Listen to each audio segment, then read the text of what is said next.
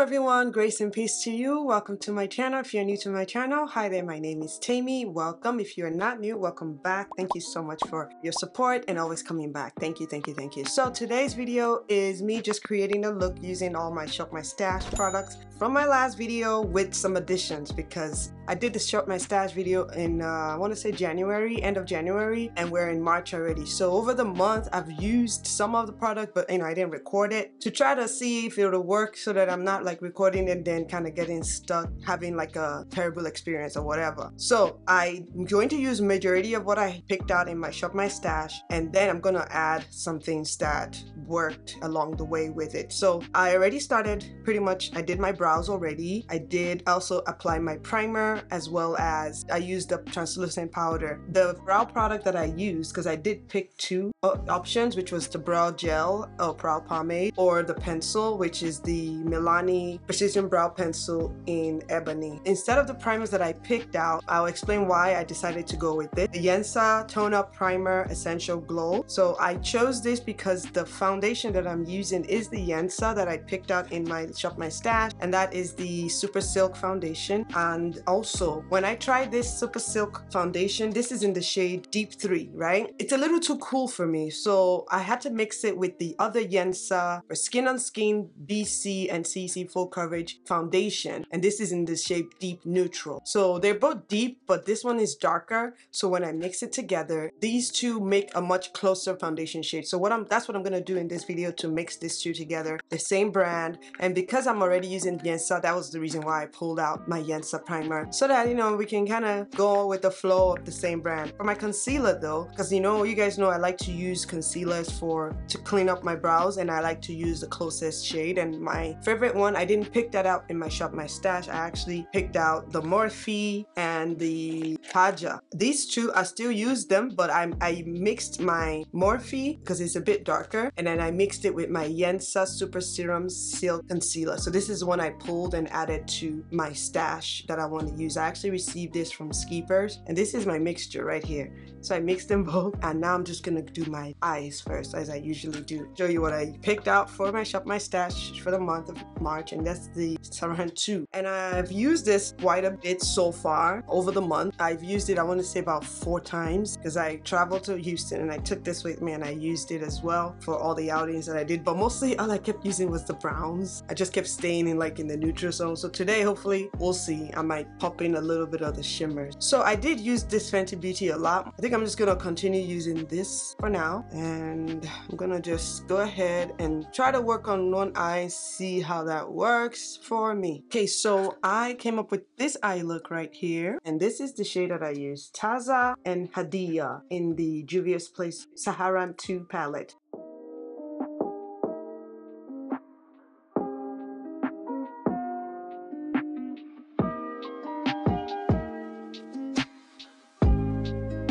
Okay, so it's time for foundation. I'm gonna get one pump here. See how cool tone this is?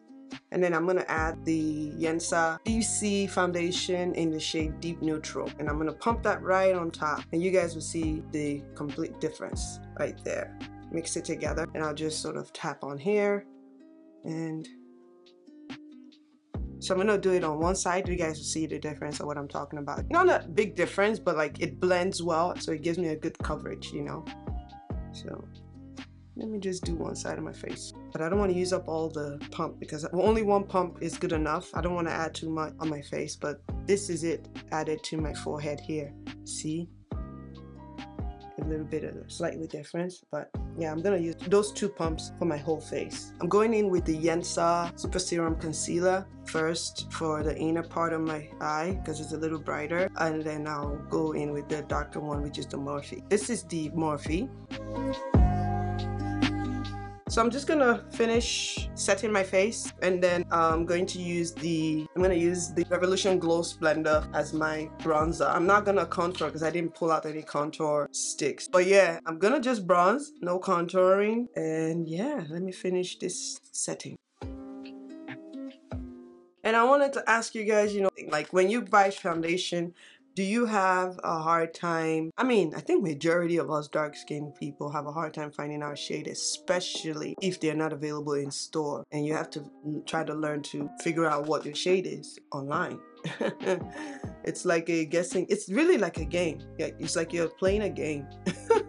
a matchmaking game. You're reading reviews. You're you're filtering reviews to be to make sure you know it's the right review you're reading. So you're not reading for someone that is like super fair skin telling saying all the great things about it, but someone that has left a, a really good review like this thing ain't it type of thing, you missed that. So I, I don't know if you guys do that, but I do. Because one thing I do is I hate returning stuff. So I do the work in order not to have to return it. And if the last result where I picked the wrong stuff, that stuff is gonna sit in that drawer until someone comes along and they it works for them and they get it. Honestly, I, I don't have the energy to be fighting customer service for anything. Some people have that energy, I don't. I, I'm just not here for it. So I do the work to find what will work before I go about buying it, you know, making any purchase for it. So. So I am using my blush, which is the Sarafina blush, but I actually started first with the e.l.f. blush, always spicy, but it has like a hint of like mauvey, plummy shade to it. And then I put this uh, Sarafina over it and that's not, it's not showing as much, but you know, that's what I pulled and we want to use it. This has a little bit of shine, shine or sheen in it and just apply it slightly to my cheeks. Be careful with the Sarafina. Uh, I think it'll show and it'll be really pretty on much lighter skin tone. I can see it slightly here and almost looks like I have highlighter. So I'm not going to use a highlighter. You guys see that. So it's pretty nice. Okay, so my battery died. I had to switch it up. I was saying I was going to use the Pure 4-in-1 Pressed Mineral Makeup, which also has SPF in it. And this is in the shade Coffee DPN4. As, yeah, it says apply in circular motion to achieve an even and flawless finish.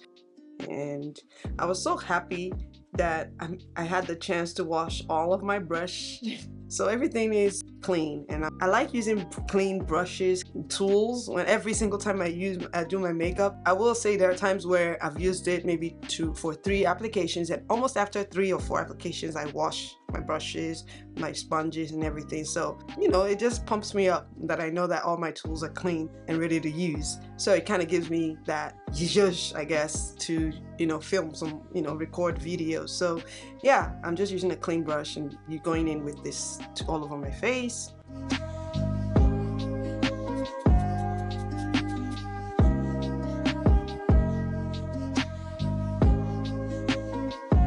Don't know what this thing is called, but I love this thing.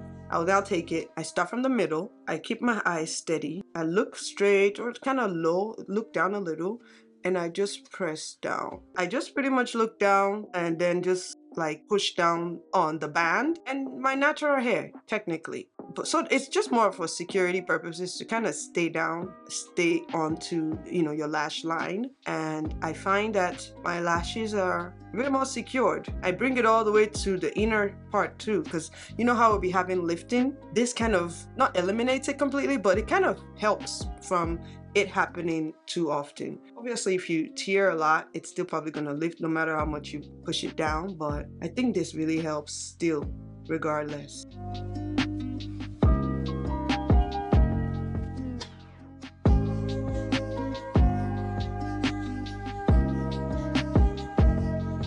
I actually like this Bella Pierre lip color.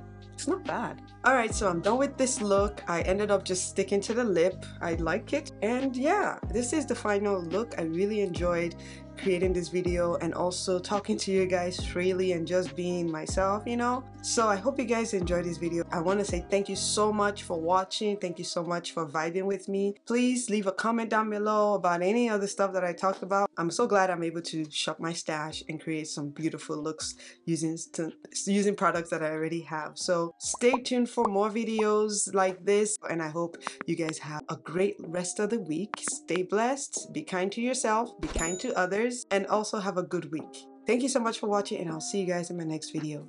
Bye!